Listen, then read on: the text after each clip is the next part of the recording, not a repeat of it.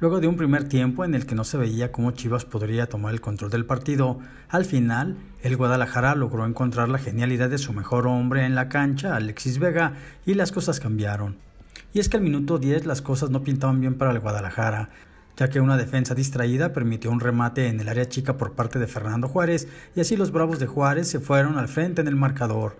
Juárez intentó aguantar el gol y fue en el minuto 44 cuando Cisneros disparó desde fuera del área y la pelota fue desviada por el defensa Arribas para el 1 a 1 en el marcador.